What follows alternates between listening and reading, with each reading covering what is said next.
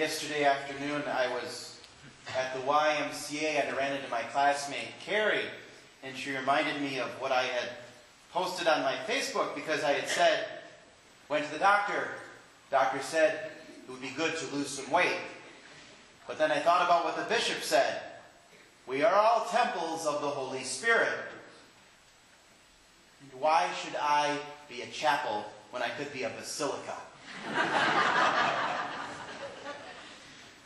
you know, every time, once in a while I write a homily, and I get down here and I'm in the confessional, and then I read it, and I just go, that stinks. Today we celebrate what? Feast of Christ. Priest of Christ the King. I'm wearing the white, and it's a symbol of Christ and his place, his rightful place as King of the universe. What, there are a lot of things that could be said about Christ the King. But the first thing that came to mind was a feast we celebrated just this past week. Feast of San Miguel Agustin Pro, who was martyred in 1929 in Mexico. Why? Because he was a Catholic priest who did what a Catholic priest does. He offered Mass. He offered the sacraments. And for that, he was killed. Why? Because in, in Mexico, in the 1920s, they elected an atheist. And the atheistic president put basically out law. You will not celebrate Mass publicly. You will not dress as priests publicly. You will not celebrate the sacraments, period. And that was what was going on in Mexico back in the 1920s. But there was Miguel, a, Jes- uh, a Jesuit. And what he would do, he would go dressed up in regular civilian clothing, go into people's homes and celebrate masses. He would hear confessions and he would participate in the sacraments until one day someone found him out and reported him to the police. So they brought him forward with the usual superfluous, unnecessary, whatever it was, the, the lack of justice in that time. Basically, brought him straight to a firing squad. And they called in the, the newspaper, who, you know, had one of those brand new things called cameras. And they, they took a picture. And they were hoping, the military was hoping to get this quivering little ball of bawling priesthood um, begging for his life. But what they got was a man who stood there and said, Go ahead. And he put out his arms like this in a cross and said, Viva Cristo Rey. Anybody know what that means? Long live Christ the King. That was the battle cry in Mexico in the late 1920s. There was a great battle that almost nobody knows about. It was formed by people who were defending their right to worship Christ the King. So their battle cry was Viva Cristo Rey, long live Christ the King. And they would say, Y Nuestra Señora de Guadalupe, and Our Lady of Guadalupe. And that was their battle cry. That was their bumper sticker. And this all revolves around the relationship that we should have with Christ the King. The people in Mexico were dying. There are many martyrs from the 20s that we celebrate today. Some of them have recently been canonized. Some were canonized maybe in the 80s, but a lot in the last five or ten years. People who gave their lives, people who died for their faith, died for their king rather than live quietly underneath an oppressive government that took away their religious freedom. It is important for us to recognize what we have.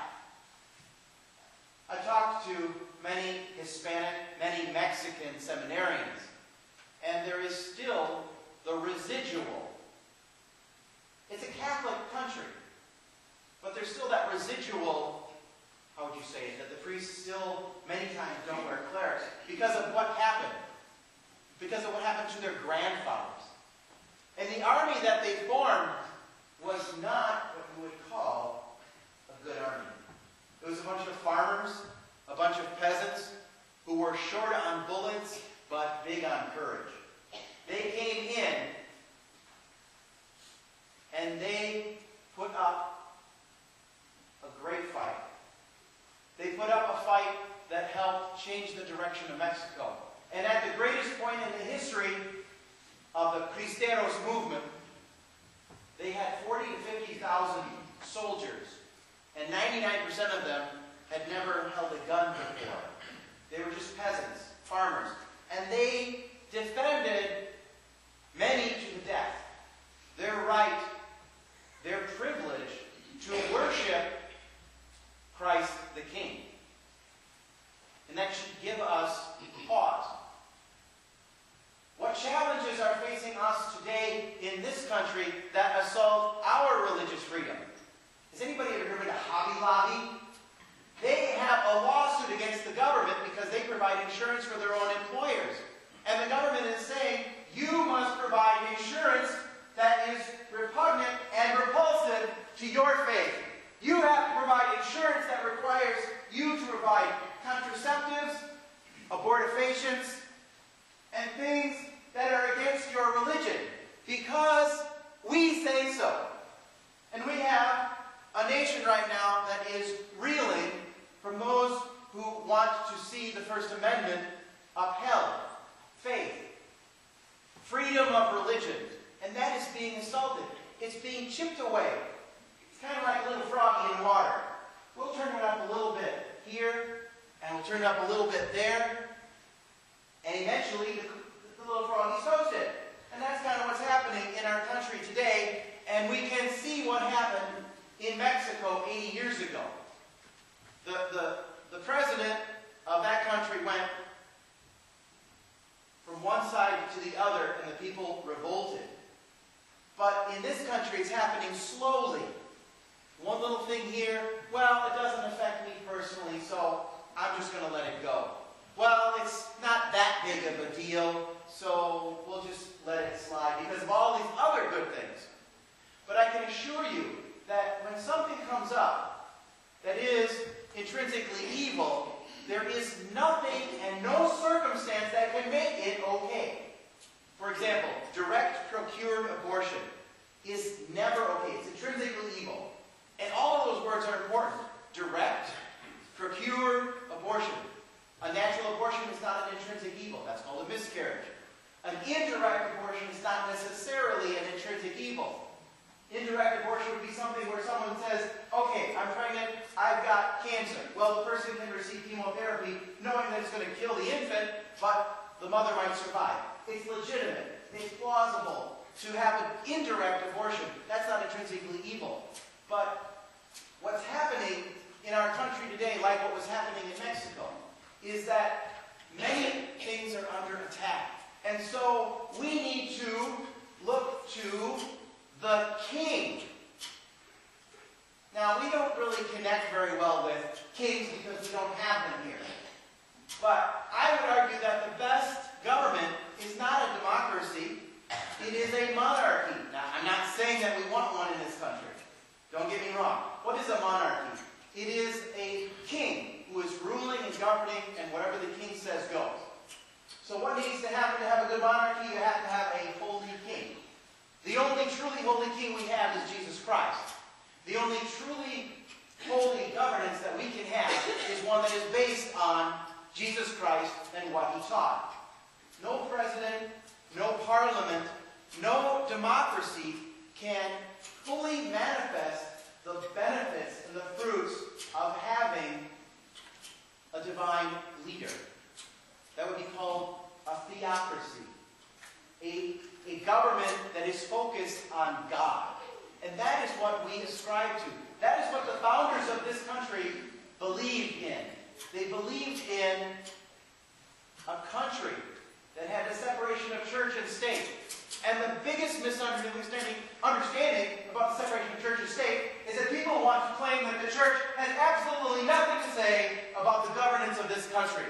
That is the biggest load of bull and the biggest lie that you will ever hear. The church has much to say.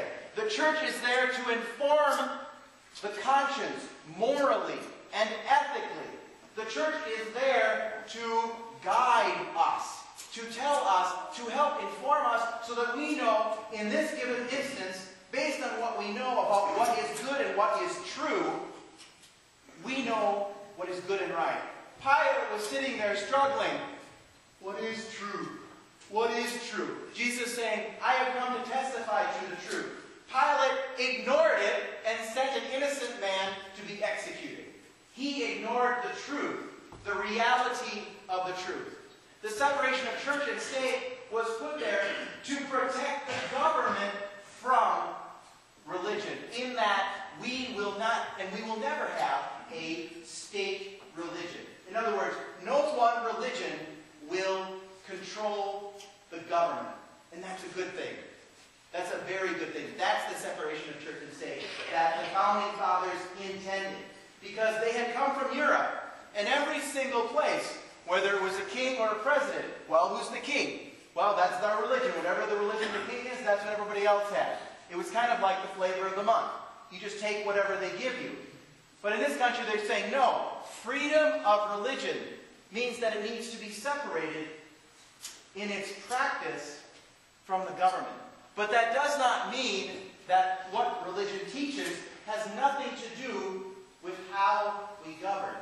If our government is not educated by the truth, and there is only one, Jesus Christ, if it is not guided by that, it is guided by a balance of powers. It is guided by a misunderstood balance of truth, where it evolves into this thing we call relativism. Relativism says, well, that may be true for you, but I have my own truth over here. And that's not true, because I love to throw this question out to the kids. Sometimes they say, well, there's, you know, there's truth, truth is relative and there's no absolute truth. Okay, that's been thrown around a lot. So, can you say that for sure? Yes, I can say for sure that there is no absolute truth.